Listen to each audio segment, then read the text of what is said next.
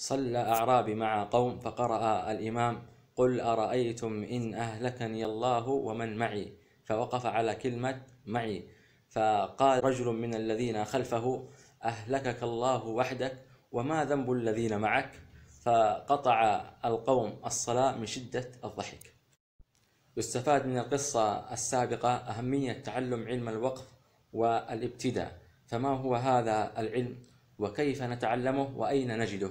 علم الوقف والابتداء من علوم القرآن الكريم وهو علم قائم بذاته يتعلق بقراءة القرآن الكريم يعني يعلمك أين تقف إذا قرأت القرآن وكيف تبدأ إذا قرأت القرآن الكريم. وقد ألفت فيه مؤلفات من ذلك كتاب منار الهدى في الوقف والابتداء للعلامة الإشموني رحمه الله وهو مؤلف ضخم.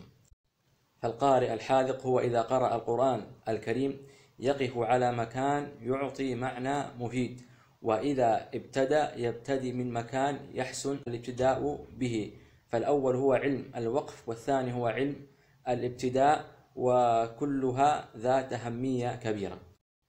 قال الإمام ابن الجزري رحمه الله تعالى في منظومته المقدمة الجزرية وبعد تجويدك للحروف لا بد من معرفة الوقوف. وقال في منظومته المباركة التي سماها طيبة النشر في القراءات العشر وبعدما تحسن أن تجود لا بد أن تعرف وقفا وابتداء. روى أهل العلم رحمهم الله عن علي بن أبي طالب رضي الله عنه أنه سئل عن قوله تعالى ورتل القرآن ترتيلا فقال الترتيل تجويد الحروف ومعرفة الوقوف. وهذا الأثر ذكره الإمام ابن الجزري رحمه الله تعالى المتوفى سنة 833 كتبه ذكره في كتابه التمهيد وذكره أيضا في كتابه النشر في موضعين. لذلك أحبتي ينبغي لمن تصدر لإقراء الناس القرآن ولأئمة المساجد وحفظة القرآن عموما أن يعتنوا بهذا العلم عناية فائقة حتى لا يقعوا في وقوف خاطئة تغير معنى الآية تماما وسوف أضرب أمثلة لوقوف خاطئة كيف غيرت معنى الآية. انتظرونا.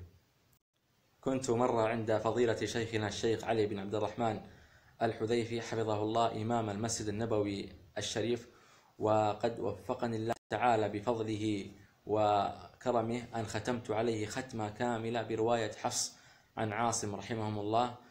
وأخذت منه سند وإجازة إلى الرسول عليه الصلاة والسلام واستفدت منه فائدة كبيرة في هذا العلم. ليقرأ عليه وقبل طالب يقرأ فوصل عند قوله تعالى للذين استجابوا لربهم الحسنى والذين لم يستجيبوا له لو أن لهم ما في الأرض جميعا ومثله معه لافتدوا به. فالطالب قرأ للذين استجابوا لربهم الحسنى والذين لم يستجيبوا. فوقف على كلمة لم يستجيبوا.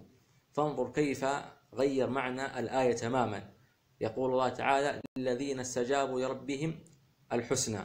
هنا وقف صحيح. المفروض يبدأ والذين لم يستجيبوا ويكمل الآية. فقال للذين استجابوا لربهم الحسنى والذين لم يستجيبوا. أي جعل الذين لم يستجيبوا أيضا لهم الحسنى. فانظر كيف تغير المعنى تماما. آه، طبعا الشيخ نبهه على خطئه وخطأ هذا الوقف وعدل له.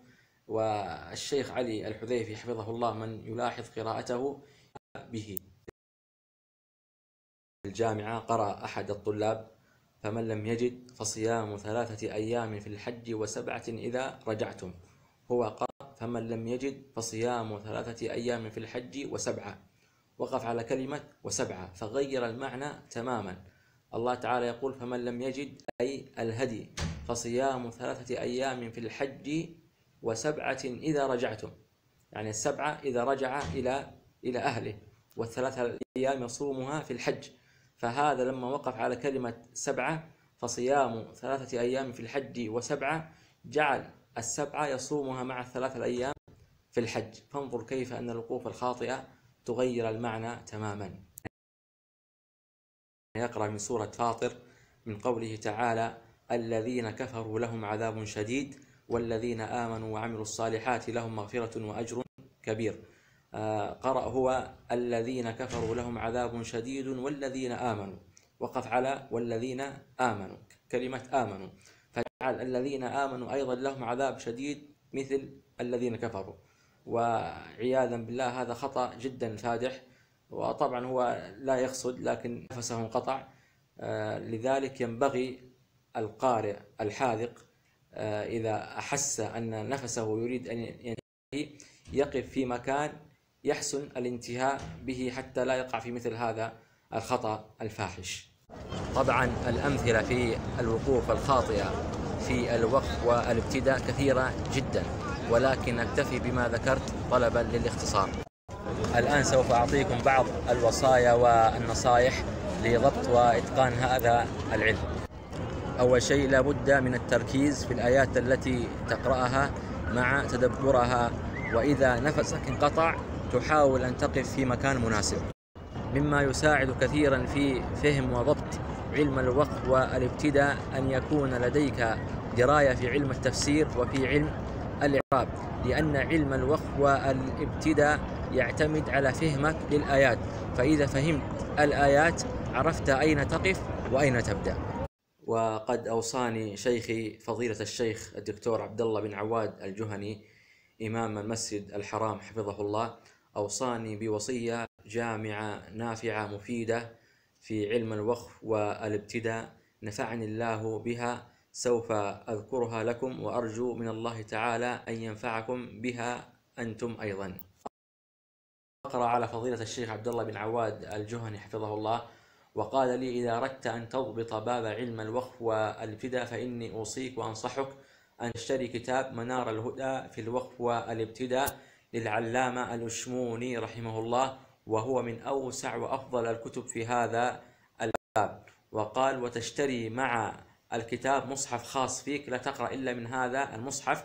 وتعلم الوقوف على المصحف تعلمها من كتاب منار الهدى في الوقف والابتداء. ومع الزمن وكثرة القراءة من هذا المصحف سوف تحفظ وتضبط هذه الوقوف. فسعدت بوصية الشيخ وطبقتها ونفذتها كاملة والحمد لله.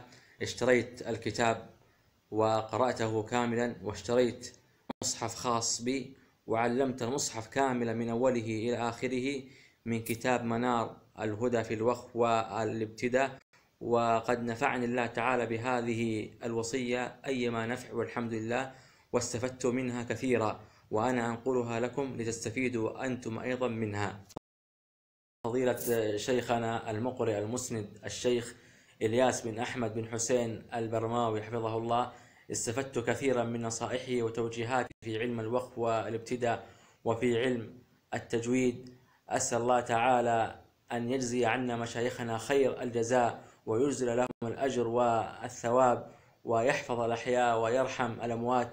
وسوف أضع لكم متابعين الأعزاء بعض الأوراق من مصحفي الخاص للفائدة والإطلاع. وأشكر لكم حسن متابعتكم وفي أمان الله. الشيخ عبد الله عواد حفظه الله نسيت أن أذكرها. لما صعبت عليه هذه الأمور صعب عليه علم التفسير وصعب عليه علم الإعراب وصعب عليه أن يقرأ في كتب علم الوقف والابتداء. قال لي الشيخ حفظه الله أدنى الكمال أن تضبط الوقوف المرسوم على مصحف الملك فهد وتحفظها. وهذه الوصية أوصاني بها الشيخ حفظه الله.